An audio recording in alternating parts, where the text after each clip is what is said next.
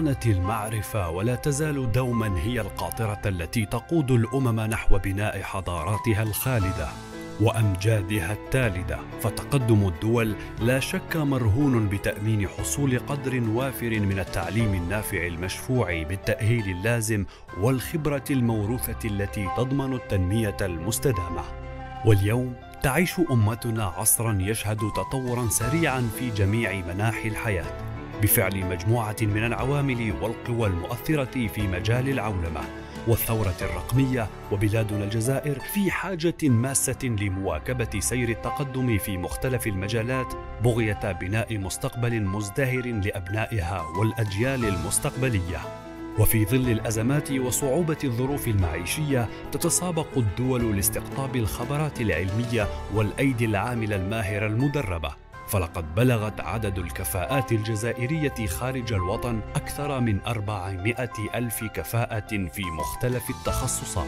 منهم المهندسون والأطباء ومنهم الباحثون في أرقى المؤسسات العالمية. واليوم تعمل فئة من هذه النخبة العلمية في منظمة إيناس بالتعاون مع كل الكفاءات الوطنية. لترقية البحث العلمي بالجزائر والنهوض بالبلاد للمساهمة في تأسيس لاقتصاد مبني على المعرفة.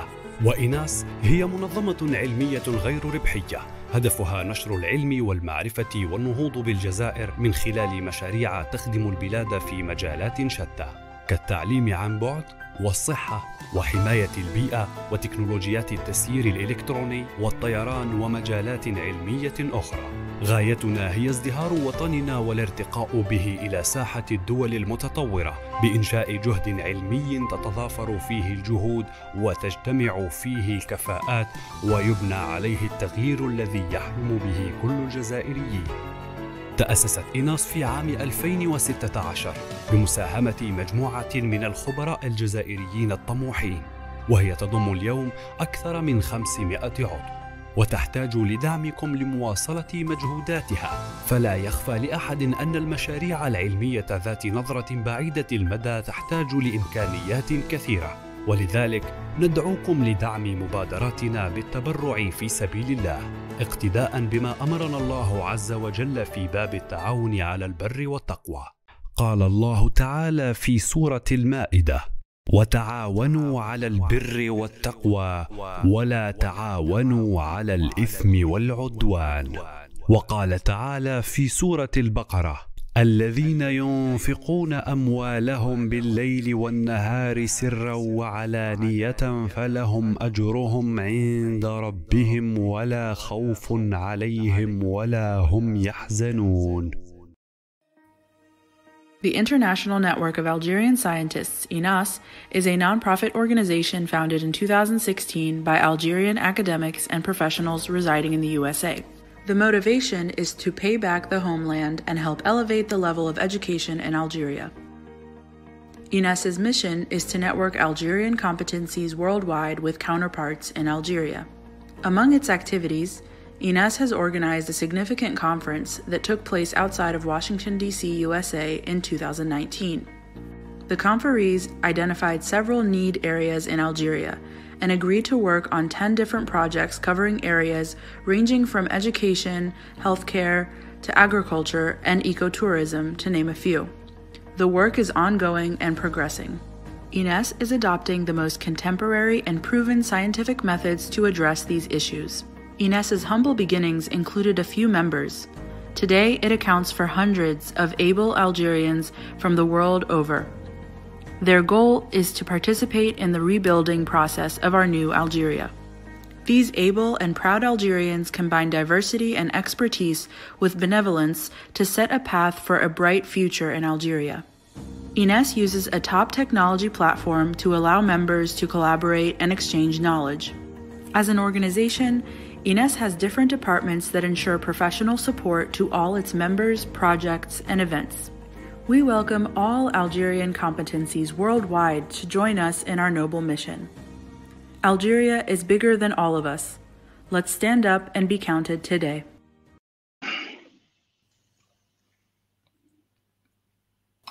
انتم مع المباشر دكتور عبد الحي ممكن تبدا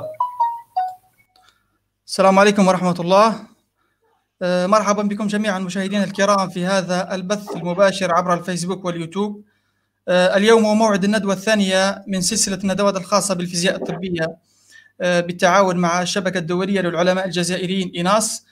ستكون ندوتنا عبر الويب حول التصوير بالأشعة الصينية لدراسات سرطان الثدي من تقديم الأستاذ الدكتور عباس شداد. الدكتور عباس شداد هو أستاذ مشارك في علوم الكمبيوتر ورئيس مجموعة مشروع البيانات الضخمة بقسم علوم الحاسوب بمعهد بيلكينغا للتكنولوجيا بكارل سكرونا بالسويد. حصل الأستاذ على الدكتوراه في كلية من كلية الحاسوب والهندسة بجامعة أولسرا في في إيرلندا الشمالية بالمملكة المتحدة. كذلك عمل في مرحلة ما بعد الدكتوراه في جامعة أوميو بالسويد وكان أيضا منتسبا إلى معهد كارلو لينسكا في ستوكهولم لعدة سنوات. منذ أكتوبر 2015 التحق بمعهد بيلكينغا للتكنولوجيا في كارل سكرونا بالسويد كمحاضر أول بقسم علوم وهندسة الحاسب الآلي حيث يعمل الآن كأستاذ مشارك So, Assalamu alaikum. Welcome to all our uh, dear viewer to this live broadcast on Facebook and YouTube. Today we are starting our second webinar series of medical physics, which is the second which is in the cooperation with uh, the International Network of Algerian Scientists. Uh, our second webinar will be on the X-ray imaging for study on breast cancer. our speaker is Dr. Abbas Cheddad. Uh, he is associate professor in computer science, group leader of a big data project uh, at the Department of Computer Science, uh, Blekinge Institute of Technology, Karlskrona, Sweden. Uh, he uh, he did uh, his PhD at the Faculty of Computing and Engineering at the University of Ulster, Ulster in Northern Ireland at UK. also, he worked at as a postdoc at Umeå University in Sweden and also uh, was affiliated with uh, the Karolinska Institute in Stockholm for several years. Uh, from October 2015, he joined the Blekinge Institute of Technology in Carlo Scrona as a senior lecturer, Department of Computer Science and Engineering, where he holds currently the title of Associate Professor or Docent. So uh, you are welcome, Dr. Abbas, and you have the talk now. Thank you very much, uh, Dr. Abdel Hay. And uh, first of all, I mean, Assalamu alaikum wa rahmatullah. Um, this is Abbas Cheddad, um, and um, before I start, um, before I start uh, the talk today, I would like just to um, uh, thank uh, INAS, Shabak Al Alimi Al Ulama Al Jazairin, for uh, their kind uh, invitation um, and for supporting um, this collaboration with. Uh, or linking uh, Algerian scientists abroad back to their country, which is very good initiative. Um, yeah, and I hope uh, all the best uh, to the association. Um, yeah, so today's talk um, is about uh, the X-ray imaging for studies on breast cancer. Let me first stress out that I'm not a physician and I am not a physicist. Uh, I am a computer scientist, uh, but I had uh, the opportunity to um, to collaborate and work together with top world scientists to in in medical field, epidemiologists and statisticians and physicists. And by this talk, I would, would like just I mean, to bring my experience I mean, to, to the view and uh, to share uh, uh, the back, I mean, the, the experience that I had back then at Karolinska Institute. Okay.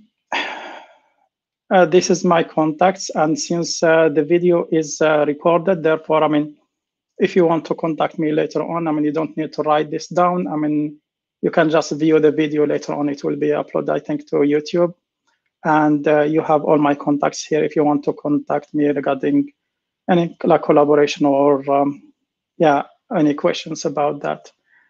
Um, this is my website here, uh, here. Uh, so that, I mean, if you want to get a glimpse uh, around my um, research uh, topics, uh, feel free to uh, just browse through.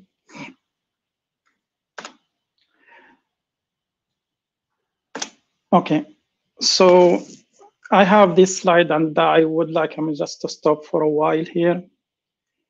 Uh, this is uh, my uh, teacher, uh, my physics teacher back in uh, secondary school. هذا أستاذ يعني في يقول له طاهر قرزو.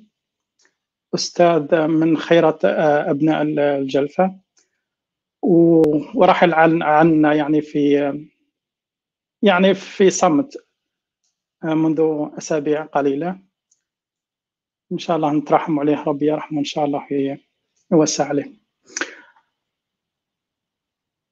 And this will be, as I mentioned here, it's a dedication to my uh, to my physics uh, teacher back then in the secondary school. He passed away a few weeks uh, ago. So may Allah bless his soul, inshallah. All right. Um, so a little bit about myself. I'm uh, now residing where I am sitting right now. I'm sitting at this place here called uh, Karlskrona. It's in the southern part of Sweden. And uh, I am working here at uh, Blekinge Institute of Technology. The campus has uh, two different locations, one at a different city called uh, Karlshamn, and this is the, the building of the campus there. And uh, the main campus is this one here.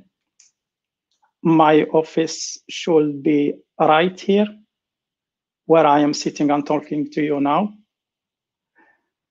And um, of course, like uh, in Sweden here, like when we want to show the campus, we show it like in spring when everything is green, because in the winter, everything is like white. Um, so this is uh, the main campus, basically.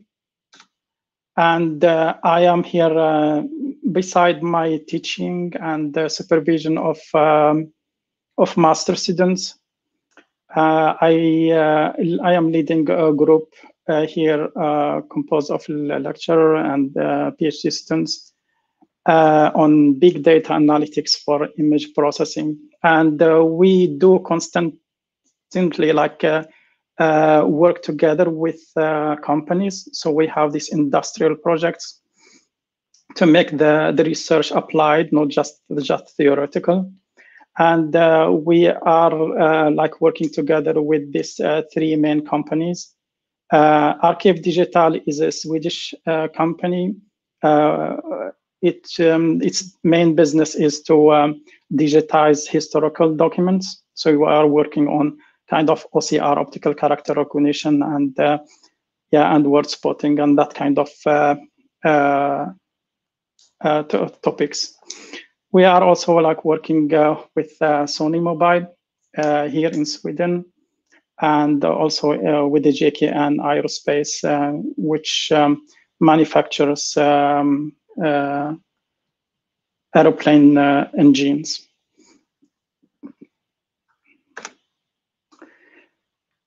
Okay, um, this is uh, a slide that I normally bring uh, together with my, uh, like me, whenever I go uh, giving like a talk, because it really summarizes the beauty of image analysis and the beauty of image processing in at the macro level. And um, although I am working at different areas here, but today's talk will will mainly uh, uh, cover kind of this uh, sub areas.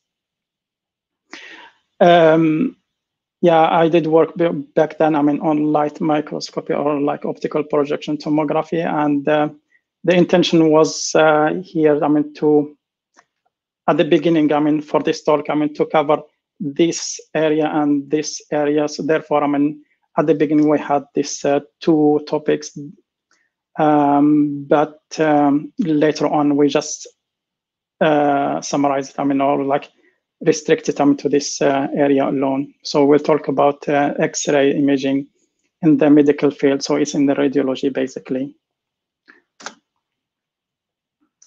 So uh, this is a kind of a question that I bounce back to you. Um, have you ever like contemplated um, the use of X-rays uh, in mammography screening?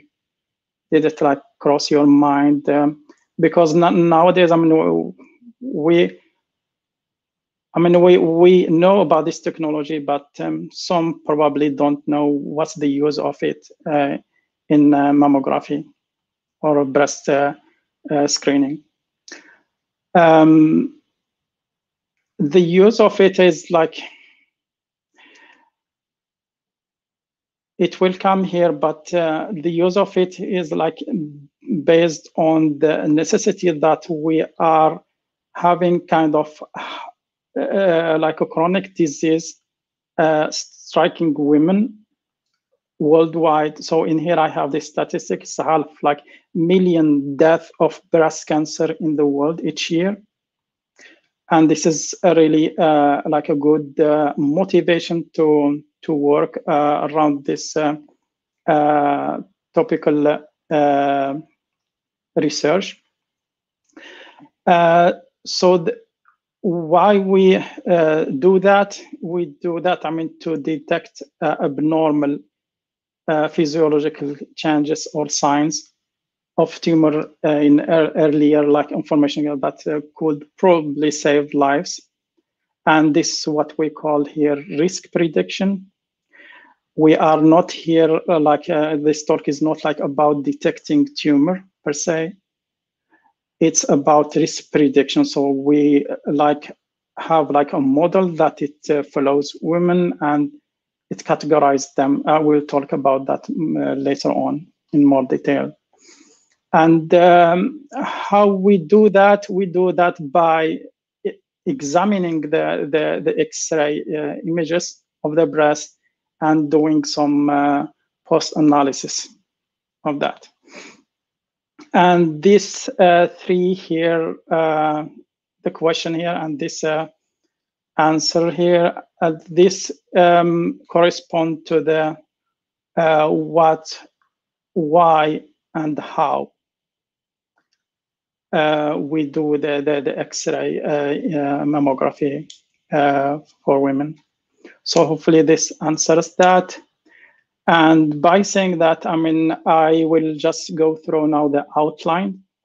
I divide it into uh, these three uh, kind of uh, three uh, categories. First of all, I will just give like a brief uh, insight into the X-ray technology.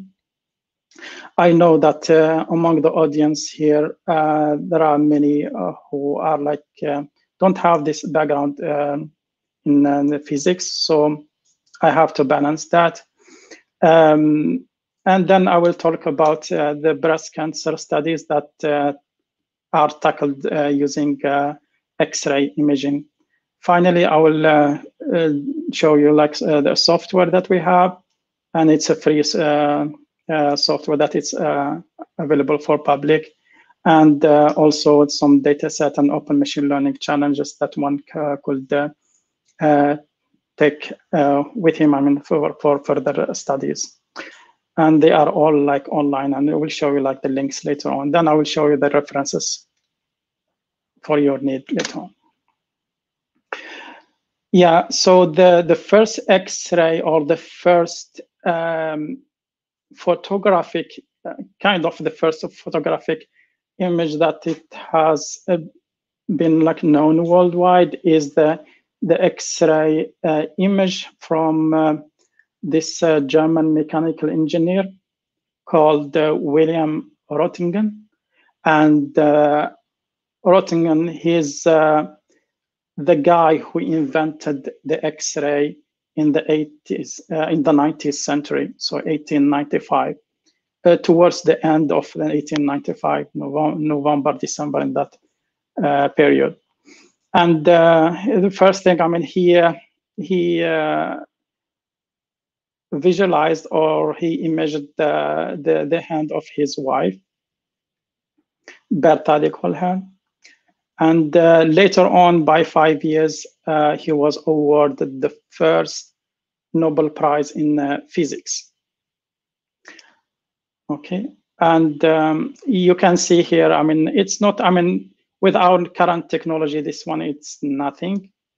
I mean, it's not a good quality uh, image. It's not good quality X-ray, but at that time, it was really something out of the blue. It's like something coming um, from other space or something like that. I, I, I, don't know. I mean, what was the reaction of his wife to see her uh, skeleton, but uh, nobody talk about that. I think. Yeah. So the X-ray, uh, if we take like a cross section um, of the X-ray uh, tube, this is basically, I mean, the X-ray uh, device, and uh, it has a chamber here. The first of all, it has a casing and a chamber here filled with oil. And the oil here, as I mentioned, I think here, yeah, it's for uh, isolation and uh, to to make it as a shield. I mean, for the to not um, uh, like to to not um, to, to, to block the, the X-ray radiation from going outside. Um, and also it's like for insulation and uh, cooling. Um, it has this, uh, the main things are like the, the, the cathode and the, the anode here. Uh, so the first thing I mean, that uh, the, there will be like a high voltage uh, beam uh, sent like from the cathode here towards the towards the um, the end tip here of the anode. And uh, then the x-ray will uh, will be generated here and go through a small tiny window here to the to the patient or the organ that we want uh, to, to examine so this is a window and underneath it should be like a, the the specimen or the sample that we want uh, to uh, to to visualize. Um, okay, um, as, as, when we zoom in into this area here, we'll find that the cathode here, it's uh, it's as I said, I mean it it it sends this uh, high voltage um, uh, negative charge towards the anode which is like the, the positive charge. So the, the electrons here will be um, will be targeting, will be attracted, I mean, to, to, to the anode uh, in this area here. And once they hit uh, the anode here, they they um, they generate uh, what we call the X-ray uh, photons. Okay, and this one here they will go through the window, the one that I am showing here. Okay, in here there is like an arrow here that it shows that uh, this anode is rotating continuously and that's to uh, avoid uh, heat because I mean uh, after some time when the these electrons are hitting the the anode I mean then this spot here will start I mean to heat up very uh, swiftly and therefore I mean it will make damage to the, the anode Therefore, I mean, a way to for cooling here is to rotate it to give it like an ample time to cool down. Um, and the rotation is done through this motor, which is like, um, um, yeah, it's done I mean, using like in induction um, here because in here you have some magnets uh, to also to to make the vibration I mean the lowest possible and uh, here, like once the X-rays are generated, they go through this tiny window. And this tiny window here, it's sometimes, it's, uh, or most of the time, it's uh, uh, created using um, uh, aluminium. So it filters out small or low energy X-ray photons because uh, it it will allow just like the the the high energy photons or like X-ray photons to pass through to the sample to visualize. Yeah, and uh, for the small ones, uh, not small, for the low energy photons, they will be blocked right here to avoid uh, uh high dosage or high radiation for the for the patient. When it comes to the result or the output of the of the X-ray uh, uh, technology itself, it manifests itself in different uh, model modules or different. It's embedded at, in different uh, devices. So this is uh, one of them is the radiology here for the chest uh, X-ray. You have the fluoroscopy, you have the mammography, uh, and you have the computed tomography. The one that I have here uh, with the box, red box here, is the one that we will focus on uh, for this talk. Uh, the X-ray uh, for mammography is this, um, it, it's, it's acquired, uh, the acquisition is done using these devices. Uh, this is an analog, an example of an analog, analog mammography scanner. This is like used back then. It's uh, the the model model is uh, Hologic, I think, and um, I think in Algeria many of the, the health centers, I mean, they uh, they are still using the the analog uh, mammography or mammograms. But recently, I mean, since um, since 2003 in Europe, uh, what we call here the FFDM, which stands for the full field uh, digital mammography, came to the market. And, um, and only in 2006, so that means three years after uh, it came to Europe, uh, Swedish hospitals adopted the, the FFDM uh, mammograms or mammography. Uh, so in here, there are like some examples of that, the GE, General Electrics, and the Philips, and the Sectra. The Sectra here is a Swedish company uh, based in a city here uh, north of my city called uh, uh Linköping. Um, but it has office uh, worldwide. Um, this, the Philips here, it's a mammog mammography imaging scanner but um, Philips is like intensively working on uh, advancing the technology. So uh, a few years back, I mean, they introduced what they call it uh, tomosynthesis, tomosynthesis, synthesis, yeah, uh, which basically is uh, is uh, is, is uh, like six degrees accusation platform. So instead of uh, acquiring uh, the the images, the mammograms from like uh, like just two views, like the MLO view and the CC view. So instead of that, it acquires like uh, the, the, the the mammograms from all the images uh, from six different angles.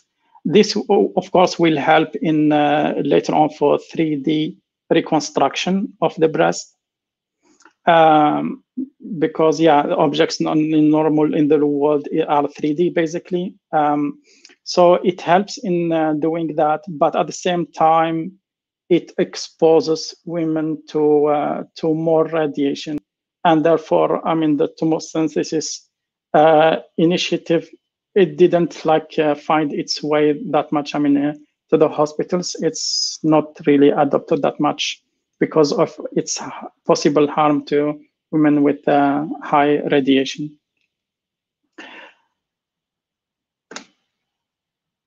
Yeah, and uh, now I will talk a little bit about uh, the old version of the, the mammogram scanner or the X-ray scanners, uh, which is the, the film uh, based mammogram uh, device, the one that we is shown here.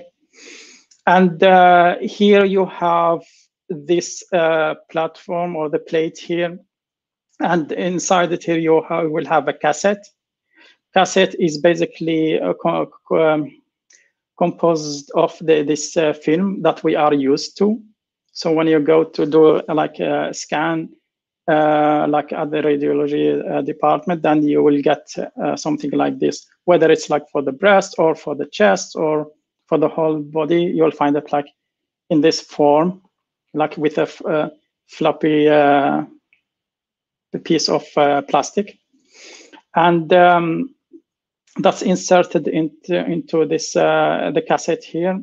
And this one here, it's composed of these different layers um, and uh, this um, kind of plate here is used to compress the breast because if the image directly like that, I mean, you will uh, lose the three third dimension of uh, of uh, of the tissue. Therefore, I mean, they they compress the breast so that the the fibroglandular tissue or like the fatty tissue it spreads out. Therefore, you will have like a better view of it than uh, without uh, uh, compression.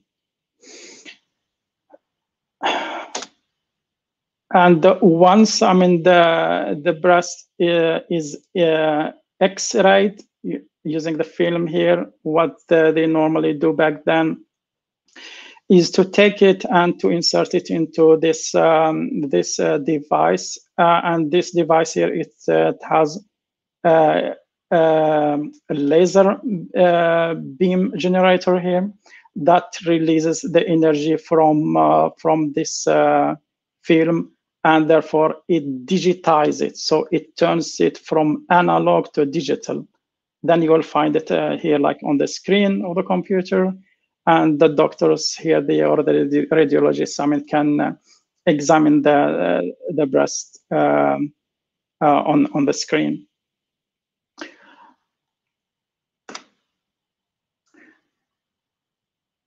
Yeah.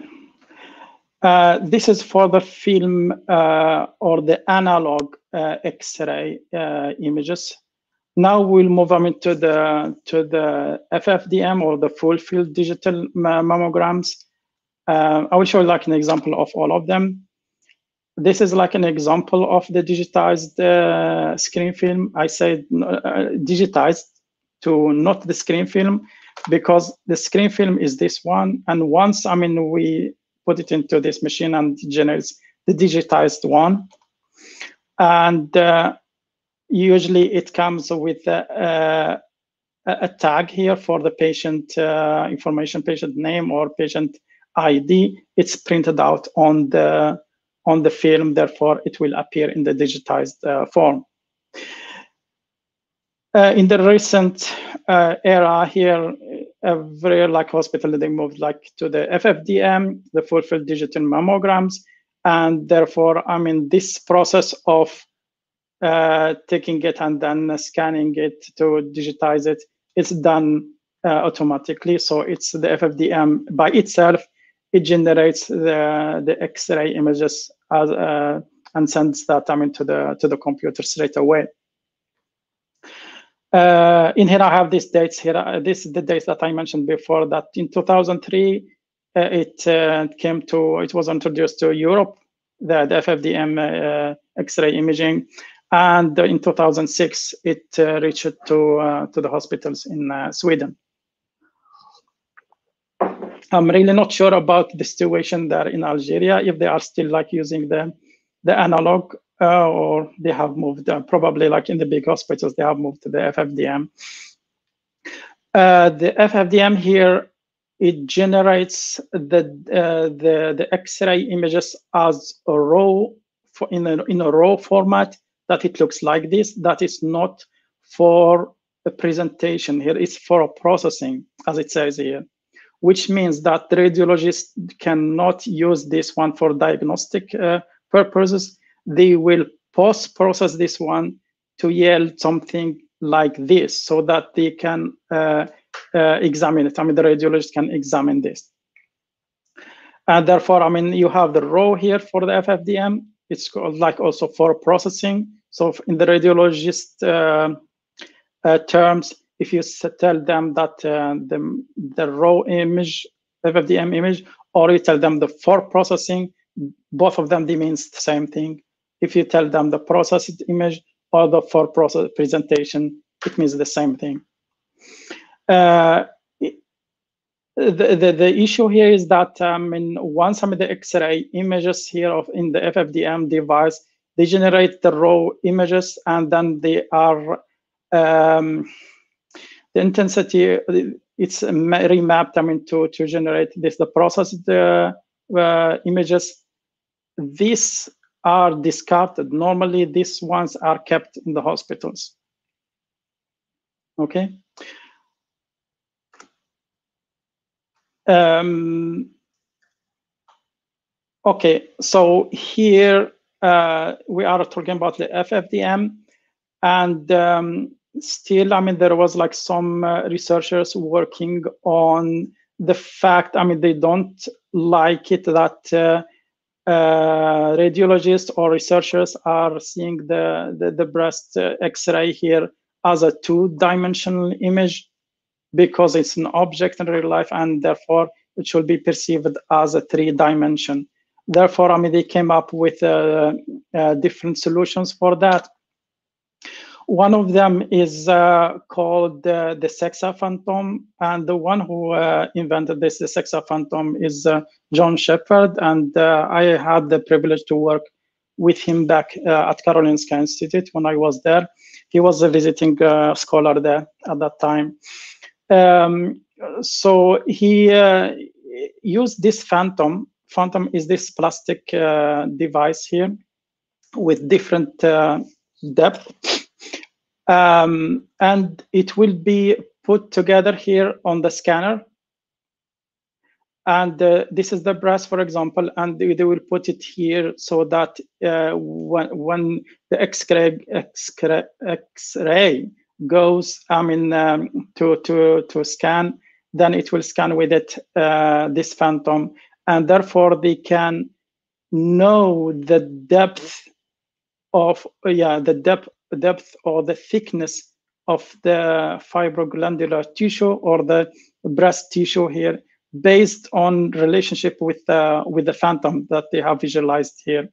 Therefore they will they can from a 2d image here they can just they can generate like three-dimensional representation of that and uh, this is with the phantom and uh, there is another initiative um, it's called uh, Volpara. It's a commercial software.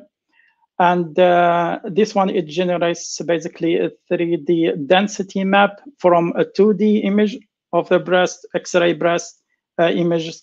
And uh, the one who invented is uh, uh, Ralph Highnam. I met him, he came to Karolinska back then to, to uh, to, to, to promote to promote his uh, his company that he, uh, they call it Volpara Health Technologies to sell to, to us. I mean the his software to generate this basically. I mean the 3D map and therefore I mean to get the volumetric percent density. We'll talk about what I mean by percent density later on. Uh, Ralph Highnam, uh, he's the CEO of this company, and uh, his uh, software is based on his PhD thesis at Oxford University. And uh, he based it on uh, the physics properties, I mean, together with the acquisition parameters um, from from from the X-ray imaging device, so that it he can like render this to this uh, mapping. Okay, and why do they do that? I mean, therefore, I mean, they do that. I mean, to make it uh, more precise in calculating the statistics of the breast here. Like, for example, this uh, white tissue that you see here. Um, we will talk about it. That's uh, the ratio of this one to the total uh, breast region is called the percent density. We'll talk about that shortly. Um, yeah, so he came to Karolinska and we were like uh, uh, discussing with him uh, uh his like the, the software that we can use it for pilot studies and therefore we have like some publications with that. Yeah, okay. so now we move to this uh, topic on breast uh, cancer studies, uh, the uh, the percent density PD and the volumetric percent density. So the first thing that it comes to your mind probably is what do I mean by uh, percent density? Percent, percent density is the ratio of this area, for example, the fibroglandular tissue, to the total area of the of the breast. That ratio is called the percent density, and it's found to be uh, highly. Uh, it's a it's a one of the or it's the the first uh, image based uh, measurement that's linked to the risk of breast cancer. So that ratio is always like used in uh, for modeling. Uh, of course, here the pectoral muscle here is removed. And um, yeah, this is the, the, the percent density, which is, as I mentioned, again, it's just like the ratio of this whitish area to the total uh, region of the breast, okay? And uh, the volumetric uh, percent density is basically the same thing. It's like uh, calculating this uh, the fibroglandular tissue, but it's not from the 2D image. It's from the 3D density map that uh, this company generates, right? So it, it, it generates that uh, based on, as I mentioned, the acquisition parameters of the, of the scanner. And it needs only the raw uh, images. I will take you back I mean, to what the raw images are. They are these ones. The processed images are these ones. So the Volpara or like the volumetric, the 3D map, that one, it generated from the images that it came straight away from the scanner, from the X-ray scanner, without any touch, without any like uh, post-processing uh, of the intensities. As it is, they take it and they generate the, the volumetric percent density. The problem with this software uh, of the Ralph Highnam is that it works, as I mentioned, only on the raw images. And therefore, most of the, the data, the X-ray uh, images of the breast that are available at hospitals, they are the processed uh, versions of that as I mentioned before, that normally it's a routine that they keep the processed images and they discard or throw away the raw images. Okay, so what we did here in one of the research or the publication that we did is that we used machine learning to to train the model to learn the patterns from uh, of the, of the Volpara of the volumetric PD using the software from the raw images and then we apply them into the to the process the images that we have right? So we have divided them in the set that we have into trained data set and validation data set and therefore we have like another uh, set for testing so for the trained data set and the validation we both have the raw and the processed images we generate the the in, in this second approach here, as I mentioned here, we generate um, the volumetric percent density using uh, the software that it came from the Volpara Health technology, right? So it gives us like a measurement from the raw images. Then we extract like features from the processed images and together with the acquisition parameters, we try to mimic or to learn the the the model will learn the pattern of the volumetric uh, percent density on the raw image. Okay, and uh, it turns out to be like a valid approach here uh, because we tested it like on the validation, it, uh, it worked well, and then also we we worked on like on the test data set where we don't have the raw images. As I mentioned before, that most of the data are kept in the processed uh, form. Um, and these are the guys that I work together with. Um, uh, they are uh, well-known um, uh, professionals. Uh, Per Hall, Kamila Czene, they are uh, both professors in epidemiology, cancer epidemiology. Uh, John Shepherd is now having his own uh, laboratory at the University of Hawaii in the US. And Keith Humphrey, he's a professor of statistics. And uh, me, myself here, I was the only image analysis uh, there. So the combination of this uh, circle here, or this knowledge through this circle here, it really was very fruitful. And therefore, I mean, this boosting this multidisciplinary research uh, uh, channel. Um, so the, the, the work that I worked on like back then, it was like from 2012 to 2015. So almost like about four years. Uh, we had uh, like um, about 2 million images and uh, there were 750,000 Swedish women recruited. Um, so we have both uh, the, the, the MLO and the CC uh, images of these uh, women. And we have all the information, uh, the HRT, I don't know if this is like a technical term, it's HR, the hormone uh, replacement therapy, therapy uh, status, we have the, the parity, we have the BMI, we have the age of these women, we have all, even even the, the, the diet, I mean, what the, the exercise and the diet, all of that kind of information is uh, recorded. Um, in here in Sweden, uh, it's a routine here that uh, each uh, two years, uh, women normally are called from the age of 40 to the age of 74 there is like a screening program here that they are called to the hospital to do a mammography screening each two years. Once I mean they reach to 40 years of all uh, of age. Uh, in the in the UK, I think it's uh, they call them for each three years, from 50 until 70. Um, in Algeria, I don't know. I don't think that there is uh, this kind of program at all there.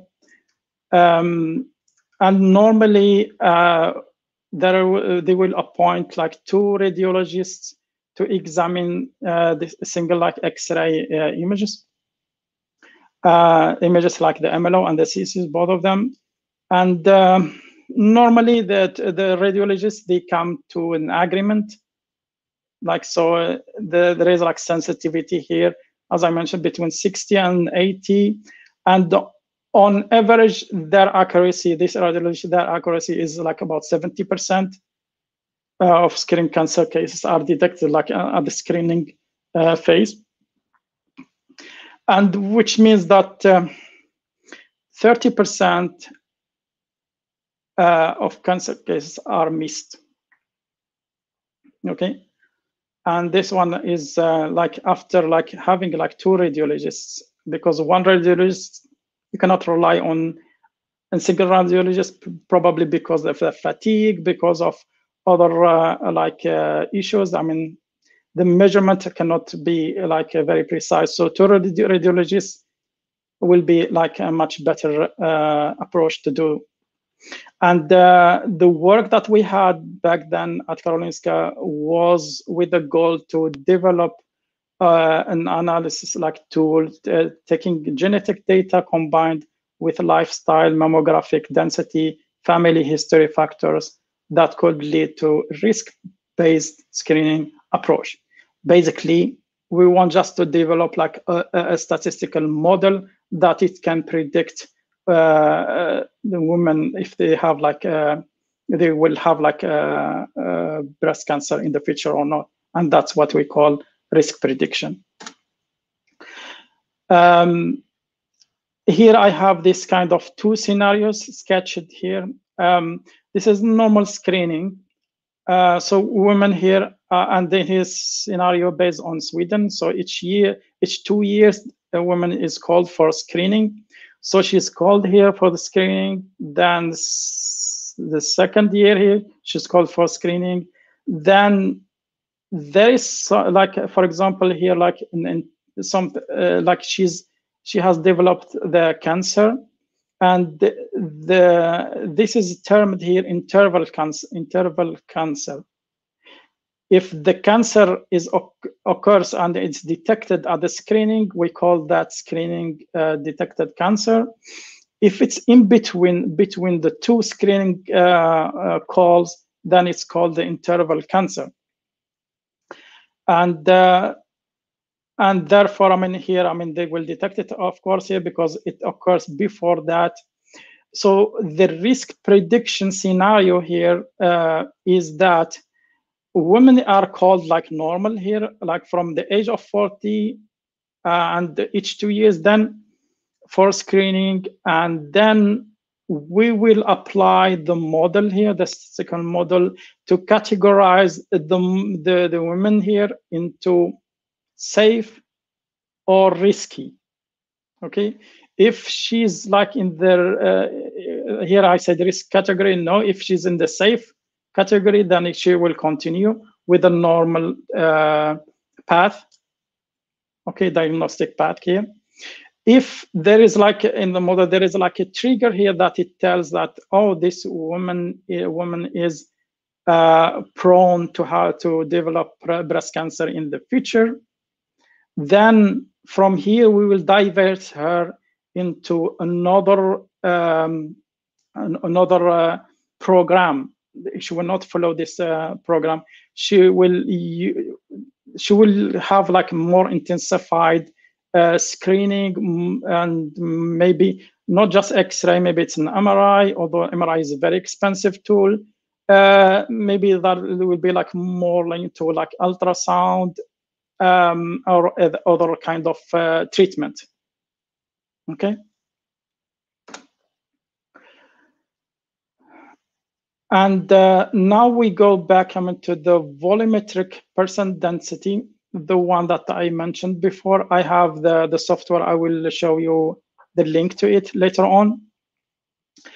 Uh, I'm sorry, I, am just looking at the slides. I don't know if there is anything here. Okay, good. Yeah, okay, so uh, the, the, the, the machines or the X-ray machines that uh, generated the, the, the data set, the one that I told you that we have 2 million images and um, like from like 750,000 women in Swedish uh, in Sweden. And most of them, they are coming like, of course, like from, uh, they are all coming from Sweden. Uh, most of them, they are FFDM images and they are coming from uh, from different hospitals here across Sweden. And different hospitals means what? Means that they are using different machines, right? So we end up like having like different machines, like the the GE uh, medical systems, and uh, for example here the manufacturer is the GE, but it has different models and different station name. Uh, the Sectra, this is the Swedish company that I told you about. I mean, Sectra also it has different mm, uh, model names, different models of the of the same of the scanner of their scanner, and um, Philips as well. Uh, it doesn't have it's L30 for all of the models, but for the station name, it has different different uh, different station names here. Uh, the problem here, as I will mention later on, is that these companies they have their own uh, processing algorithm to convert the raw images to the processed images, and they don't put that to public. They are uh, business or like secret or like um, yeah it's like the manufacturer uh, own secret. So they don't show their algorithm that it uh, converts the raw images to the to the processed image. And this one it creates a big problem for uh, researchers. Yeah and then now here, I mean, what we have done is that we used, I mean, the, the percent density and we used the volumetric percent density uh, to, um, to, to test for the association with a genetic uh, genotype here uh, variant called um, uh, RS, the SNP, abbreviated as the SNP and it's in the gene zinc finger uh, 365 family. Um, this gene is highly associated with uh, the breast cancer and uh, with the percent density as well.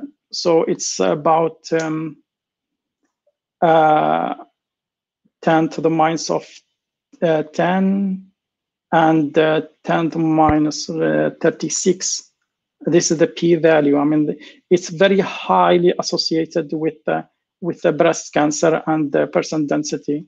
This is the the the, the SNP uh, gene, and uh, we have it coded as uh, in categorical form, like zero, one, and two, and we try to test like with a linear regression here for the PD uh, with this gene, and uh, we find that. Um, all of these uh, measurements, this is a CASAM uh, area. So this is a, a percent density. And this is the volumetric percent density that it, it learned from the Volpara. Volpara is the commercial software, as I mentioned, and it works only on the raw images. The volumetric, the CASAM volumetric here works on the processed images by uh, training on the, the Volpara here, right? And you can see here that um, they have kind of uh, similar uh, p-value, even here like uh, with uh, the estimate and the and the 95% confidence interval here, the Volpara and the one that we developed are almost the same, over, they are overlapping Then we tested the, the same metrics, the same measurements. The Volpara is the commercial software again, and uh, the PD here, the percent density, the area here, and the volumetric, the volumetric percent density. And we test that of to to to find out the estimate or the, the, to estimate the association with with the case uh, control uh, status, which means that to estimate association with the breast cancer, basically. In here, we are not talking about the gene, um, the genophenotype, the SNP, the one that I mentioned before. And uh, it's just like about uh, the association with the breast cancer.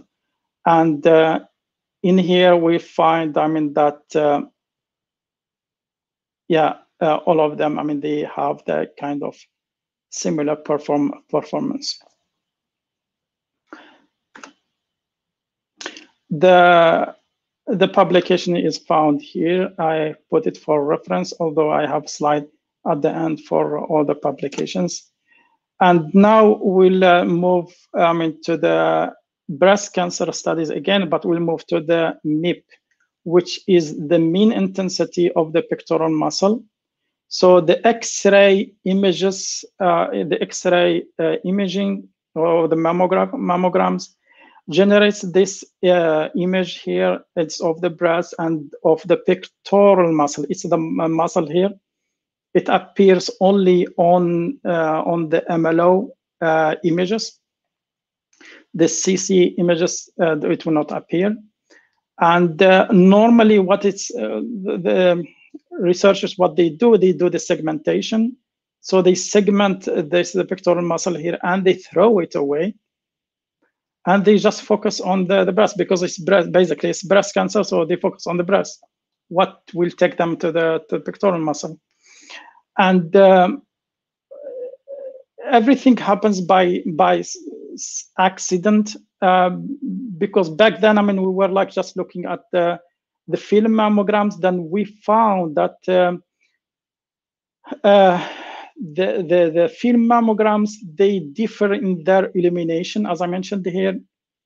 Even for with the women having the same uh, percent density, which is the ratio here of the the white tissue here, the fibroglandular tissue, uh, against I mean the the total region of the breast with the fatty region. Uh, all of them they have the same percent density, but the the the pectoral muscle had these different levels of illumination fluctuation there. And we were kind of puzzled about that. Why does it happen? Uh, we looked at the device itself. I mean, the, the mammogram um, X-ray uh, images uh, device, and there is uh, a, um, a, sensor here under the cassette that uh, it's called the AEC, uh, stands for the automatic exposure control. And normally they place uh, this sensor underneath. Uh, the breast will be like here, and this one will will uh, compress it. And this sensor here will be sliding here. It they will put it underneath the the the, the tissue with high uh, yeah with high attenuation uh, which basically is the, the region with fibroglandular tissue. And that one, it will control the, the exposure and it will control the, the contrast. Okay. And um, looking at that, um, we start also exploring the the the the, the MIP itself. I mean the pectoral muscle here if it has like any kind of uh, uh, independent uh, information or something that it can help in the for the uh, screening or risk prediction.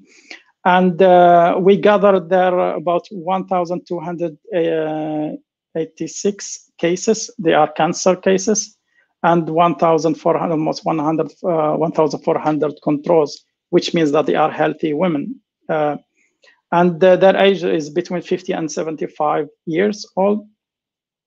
And we tried, I mean, to extract them in the MIP and to work on it, I mean, to see uh, if it has any association with uh, with uh, with uh, the breast uh, cancer risk.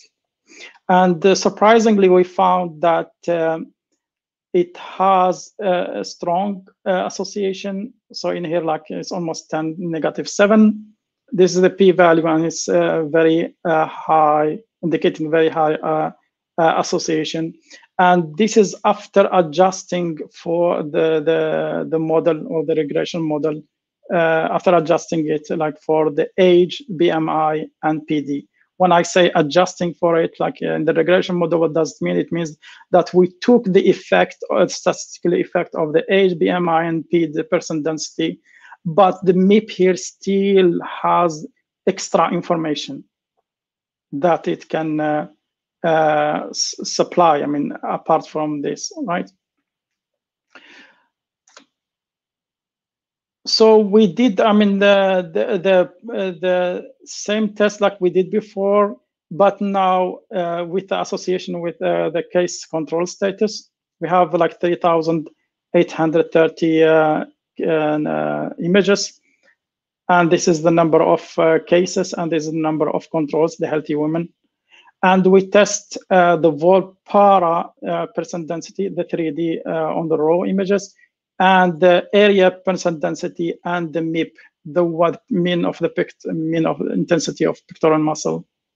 And we checked it and we found that it's still uh, showing really uh, like very good um, uh, association with uh, breast cancer, despite that we took the effect of the percent density and we took the effect after adjusting here, like for uh, uh the volumetric percent density and for the, the acquisition parameters as well, along with uh, the age BMI, menopausal status, HRT, and other uh, demographic measurements.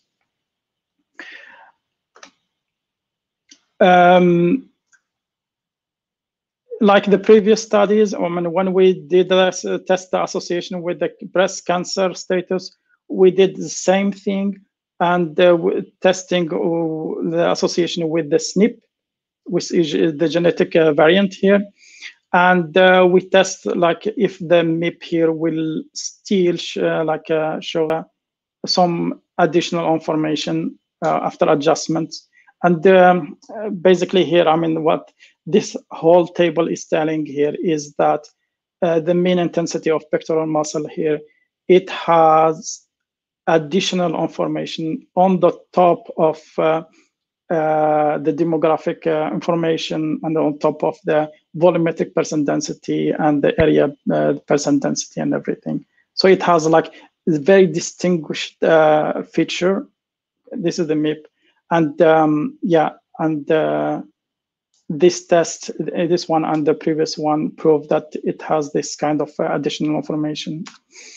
Um, now, this is the pectoral muscle here of uh, of women with the same age of 31 this is they are four different women and they have the same age 31 31 31 31 and we extracted the pectoral muscle. This is the thing that uh, normally like uh, when you do like breast uh, cancer screening then uh, the like i mentioned before they segment the breast and they throw away the pectoral muscle.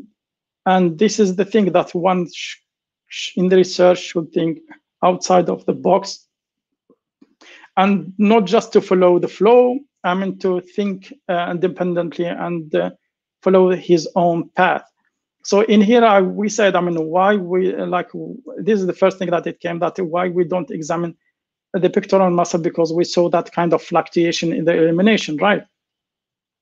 So looking at it i mean we can still still see that here like you see this in this film uh, mammograms that you have different uh, light right?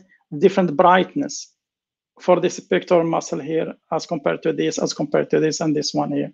Although the women here they are of the same age. So the interpretation why the mean intensity of the pectoral muscle works we had just two uh, hypotheses. One of them is uh, the aging beyond beyond the age. So in here we are talking about the chronicle chronicle age versus the biological age uh, for example, women of the same age here, if they are really active and they do exercise, and so their health or their biological uh, health is much better than the one who's really like just sitting and doing like nothing, no exercise, no. Uh, so you will find like the this the brightness here it uh, it uh, corresponds to the muscle, right? So the muscle here, if you find it like very bright, that means the muscle uh, is uh, mostly it's a muscle here in the pectoral muscle. When you see it very dim, dim here, like the one, it's not really bright. This one also is not that bright. What does it mean? It means that it's contaminated with fat. What does that mean? That means there is less muscle. What does that mean? That means this woman here, this one, and this one here, they are uh, either like they are obese or like they yeah they they are uh, not active they are not biologically healthy okay therefore i divide i mean this one into chronological chronological uh, age and biological age they are two different things and the mean intensity of pectoral muscle probably is is is is a factor or is like a met metric that one could extract from this region here to tell if this woman is uh, uh, healthy. I mean, she has like a muscle here, pectoral muscle is uh, preserved as compared to this that it is contaminated with fat. And therefore, it shows the healthy, the biological health of the women uh, be beyond the age. Okay. And this is the, the first speculation that we had. Then we had another one that we tested, then we found it.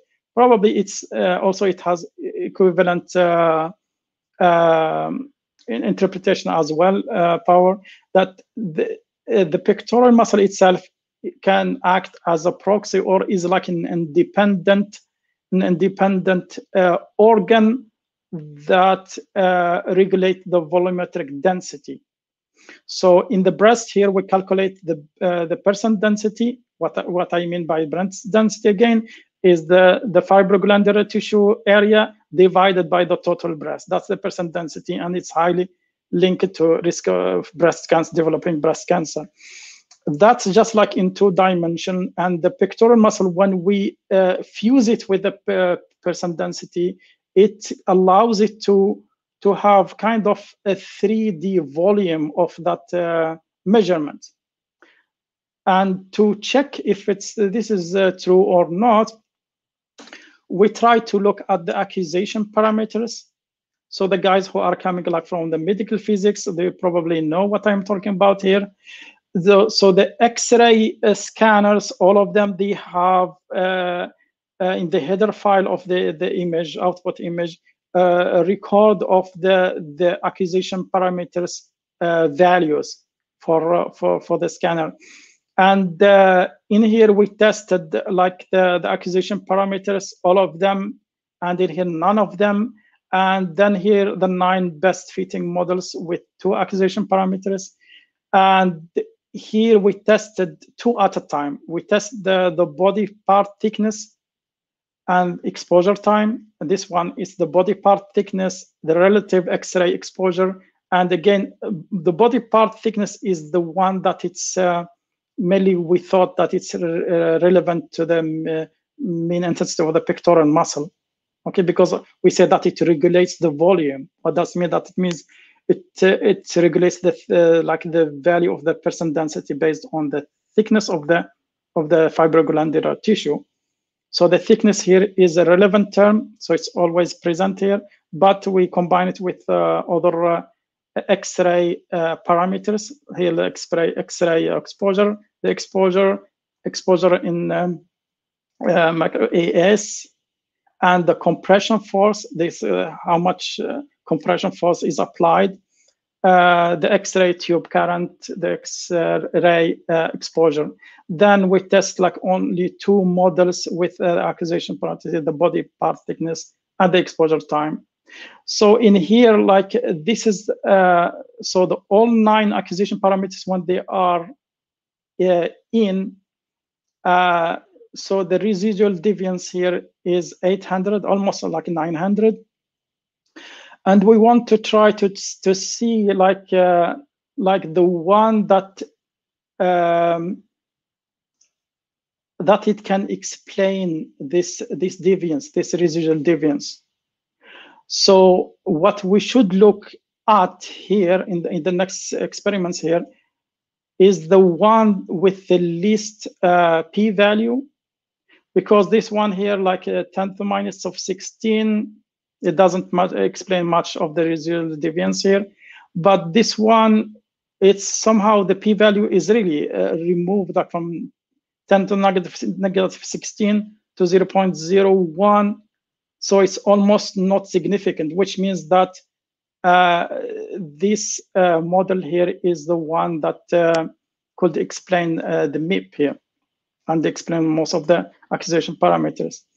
And therefore here we could find that uh, the body part thickness here and the exposure time, they are the one that they are linked to the mean intensity of the pectoral muscle.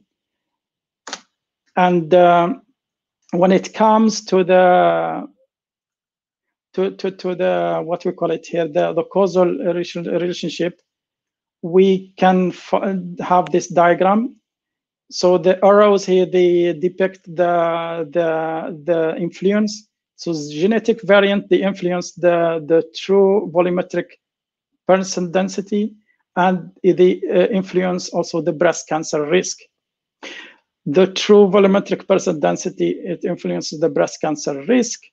And um, it influences also the mean intensity of the pectoral muscle and the measure, measured the uh, percent density. So the percent density and the MIP here, the main intensity of the pectoral muscle, they are both of them influenced by the true volumetric percent uh, density. So it's just like an imaginable value here that of the true volumetric percent, uh, percent density of the fibroglandular tissue, right? And uh, this explains uh, this uh, measurement. Now, the problem here is that how to combine these two, how to combine the PD and the MIP, because they are two different uh, uh, measurements. And so which what's the weight for that? You can give like more weight to, to, to one of them. So what we came up with is that we use the normalized form of the percent density here, that the power of, uh, it's like a square root basically.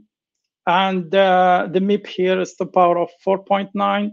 And these values, they are coming from uh, using uh, uh, the Box-Cox transformation, which basically it does this, uh, like just it maximizes the log likelihood while minimizing the, the, the standard deviation to get you the lambda here, whereby when you raise it to, I mean, to the top, I mean, to, the lambda, then you will get a, a normally distributed uh, uh, measurement. So this is basically, I mean, it's just like the Box-Cox transformation lambda that is generated uh, as well with this one. The negative 13.7 is coming from the association with the gene uh, variant, the SNP, the one that I mentioned earlier, the gene uh, variant uh, uh, SNP in the zinc finger uh, family. Um, we tested like uh, different values and this value, the negative 13.7 is the one that uh, resulted in the highest association with that uh, gene. And the gene is, uh, um, what you call it, it's um, machine independent. It's just like something in, in the human. So it doesn't have any artifact. So this is the way if you want to combine the MIP measurements with the percent density, this is the way how to do it. Then you will end up with a single measurement. The publications here for your reference. And uh, here I am about like to finish. Uh, I know that I'm taking so much time from you. Um, and this is like just like another uh, study that uh, it's done with a uh, uh, doctor called Fredrik Strand. he's one of my colleagues back then and uh, he studied uh, like based uh, he studied this based on these two only two features. One of them is the centricity and the other one is skewness of the intensity gradient.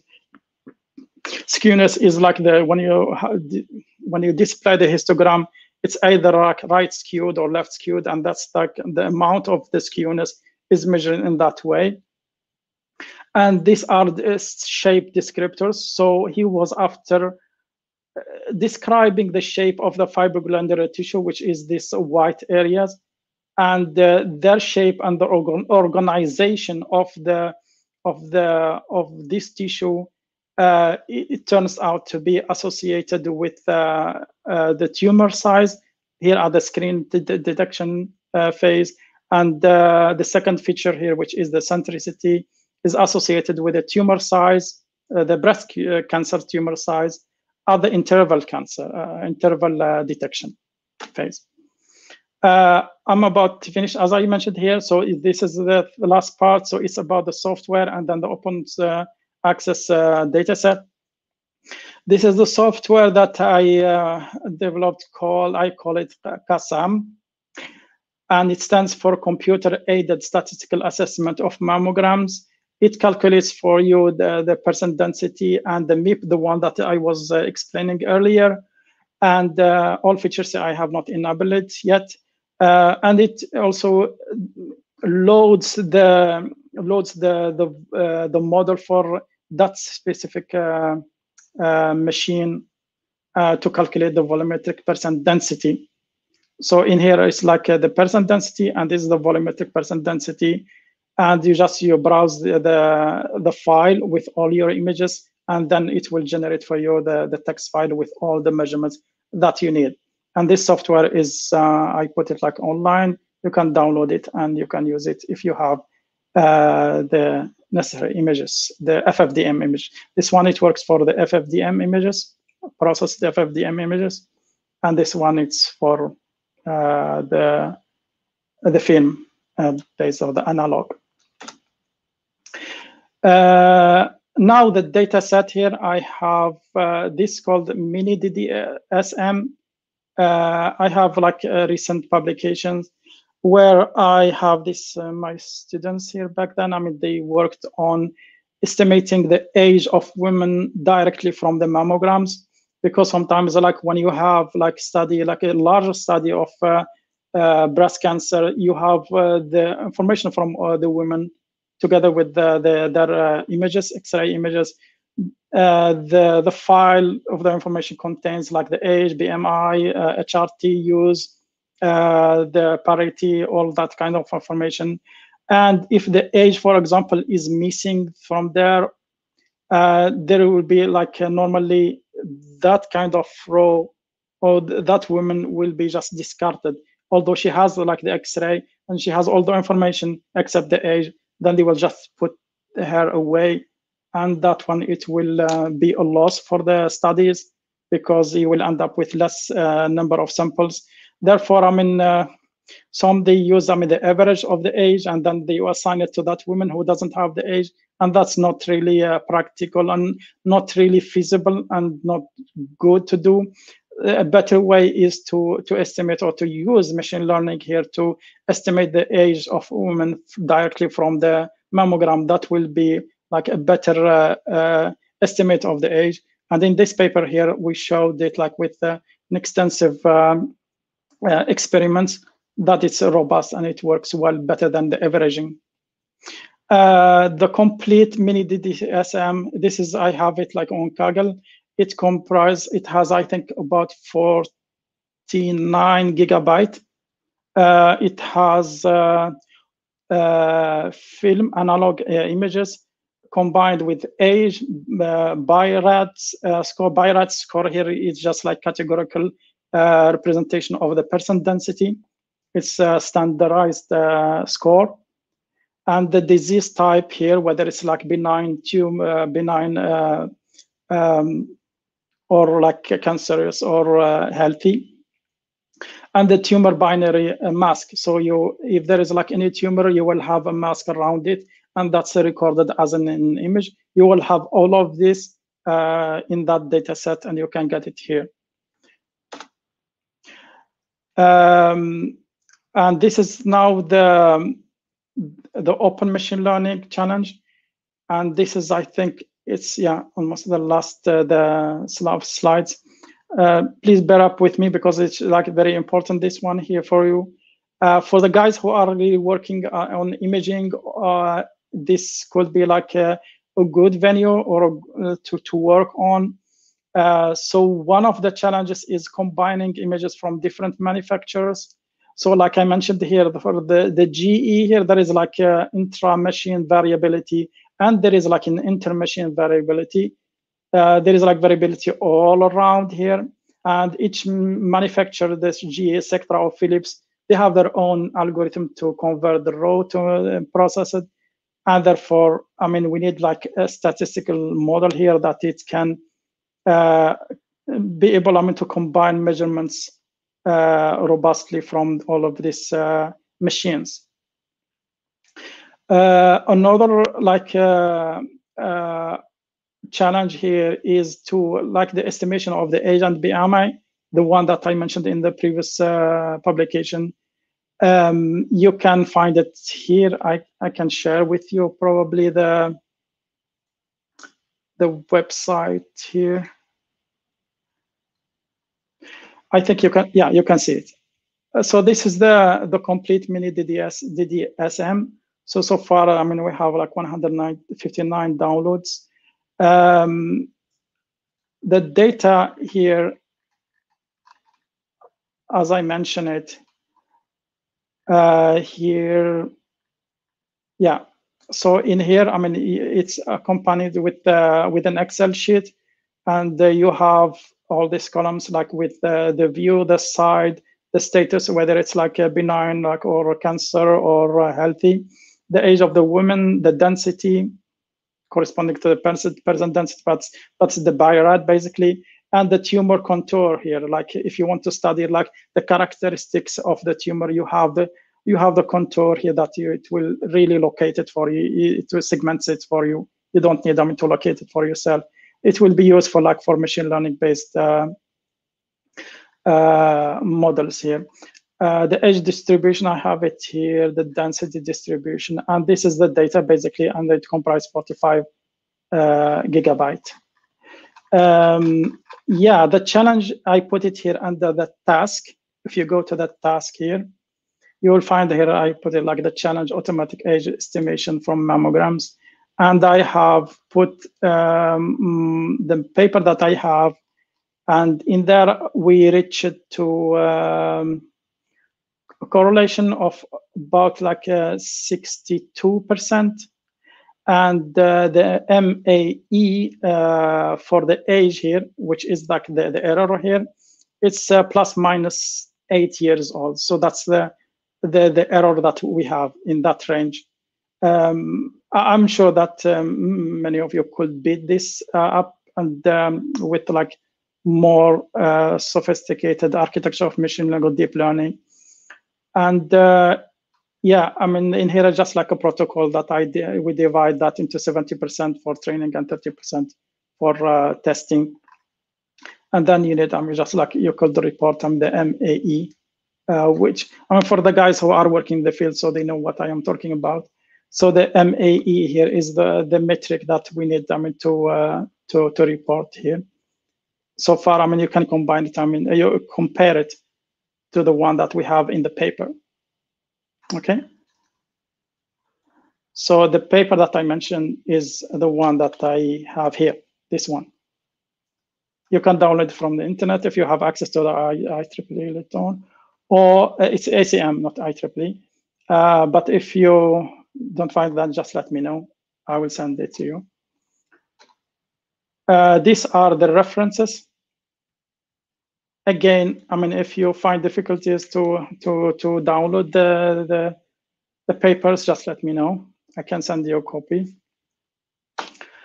And this is my final, uh, probably yeah, uh, slide, and it shows. I mean that uh, I mean the, the the the the places or the universities where I have like a previous or ongoing uh, collaboration with. I have like in Algiers, I have uh, University of Djelfa, Laghouat, uh, Biskra, Umm al-Bwaqi, Tebessa, and uh. Uh, finally, this is, uh, yeah, before the thank you. So I have this is a slide. I know that I'm holding you for too long, but this is really an important topic. Um, the University of Cambridge has recently uh, released its uh, uh, survival uh, study analysis, survival analysis study, and it's of 10 years following um, uh, people, not just women, uh, like following eight types of cancers. It's not just the breast cancer, it's like eight types. It could be like prostate cancer for men, it can be skin cancer, so there are like altogether eight types of cancer. And uh, what the study came up with after like 10 years of uh, survival analysis, they found out, which is not really surprising, but uh, yeah, uh, you have to prove it anyway. So they found out that if like, for example, here in our case here, the breast cancer, if women like uh, are diagnosed like uh, at the early stage, like stage one or stage two, they are likely like um, likely to to more likely like to, to survive. Like in here like we have 81% of them they survive the cancer. As compared to the ones here that the their cancer is detected late at the later stage stage three or stage the final stage four then they they cannot do that much actually. Okay? So just 26% have survived the, the, the cancer and this will lead us, I mean, to the this note that the best protection is uh, early detection. This holds true for all types of cancer. Thank you very much for your attention, and I'm sorry for taking too long. And yeah, we welcome now the questions if you have any question. شكرا جزيلا استاذ عباس على هذا البحث الثري بالمعلومات الان question and answer we have تقريبا لدينا ثلاث اسئله السؤال الاول هو uh, how big are the raw image dimension and the file size the image? Uh, you are using DICOM, I think. Yeah, uh, they are DICOM, but uh, how big the dimensional file size? Uh, if I remember well, I'm not sure if he's talking about the one that I have online or the, the one that we used for our studies, I mean, back then in Karolinska. Anyhow, the one that they are online, you will find they are 46 gigabyte. They are all film images. Um, they are stored in PNG format. It's not DICOM. Uh, because if it's DICOM or like uh, other format, it will really increase the size. So to make it available, so I just put it like in uh, as PNG and compressed PNG format. Um, if it's like talking about now raw, it means I, I think he's talking about the previous studies. And if I recall from 2012, yeah, I think for each image, it was like I think between 35, 50 gigabyte, uh, 50 megabyte for each image. Okay, and we have four images: left MLO, right MLO, uh, left CC, and right CC for each woman. Uh, this is for the file size. For the dimension, around like 5,000 by 4,000, 6,000, something like that. They vary between between the manufacturers, the one that I uh, mentioned there. I, I hope I have answered his questions. Yes, thank you. Uh, the second question is, uh, is there any privacy concerns about using those images in uh, Sweden? Uh, uh, the second part is, are these data considered sensitive information? Of course. Is there any, yeah, is there any privacy concerns about using those images in Sweden? Uh, now, when you say images, you have to refer me to which study so that I can answer you better. Uh, so now I am just guessing uh, what you really mean here. Probably it's true or not.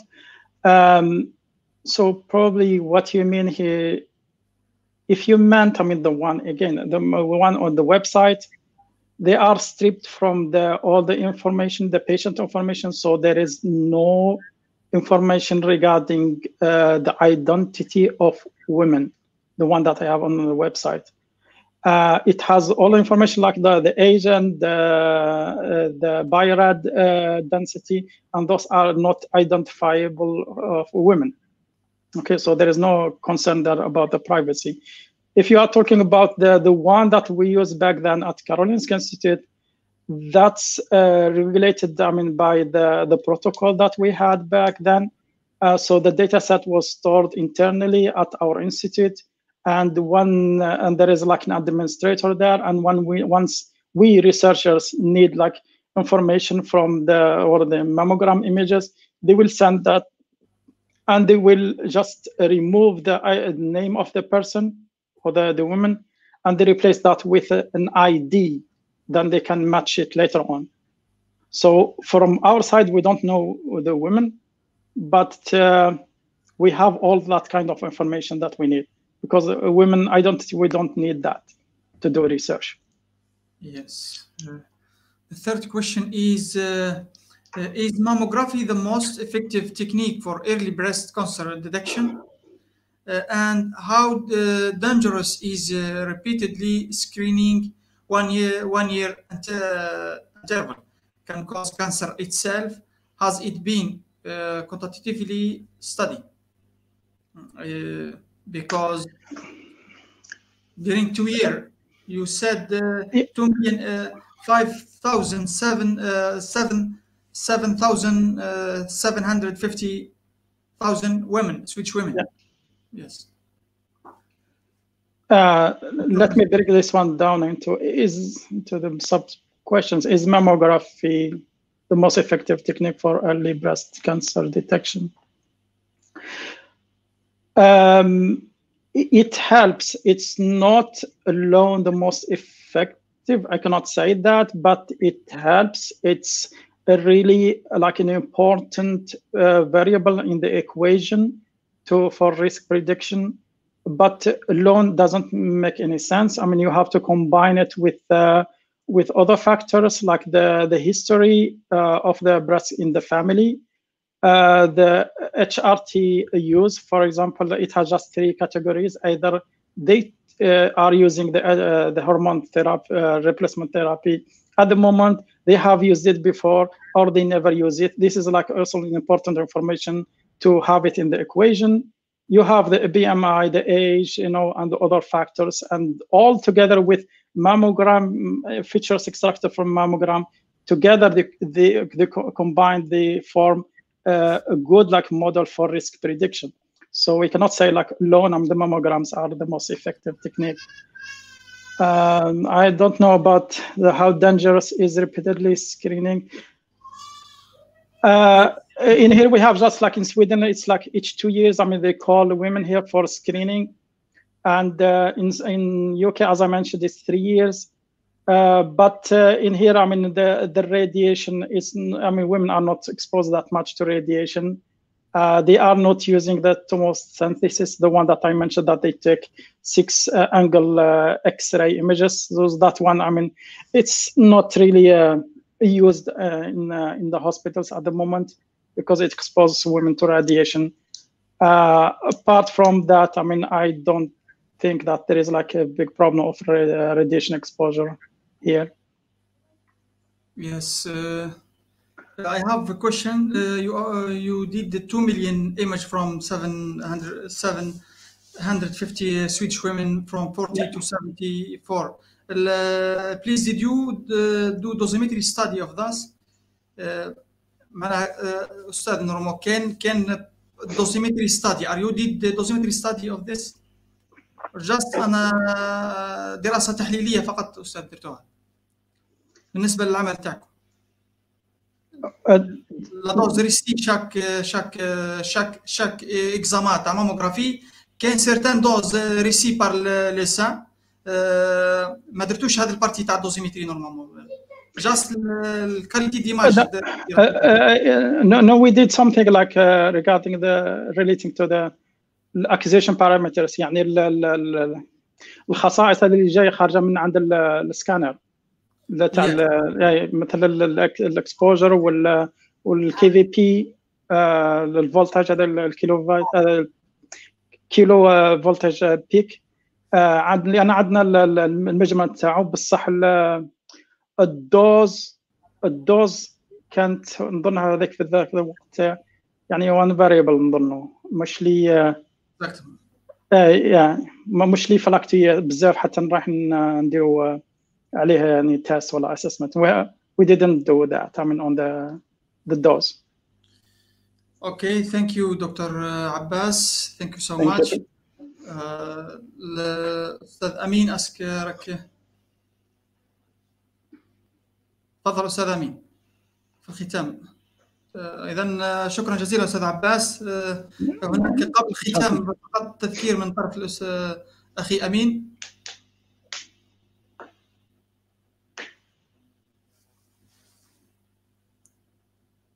لك الكلمة أستاذ أمين. السلام عليكم شكرا.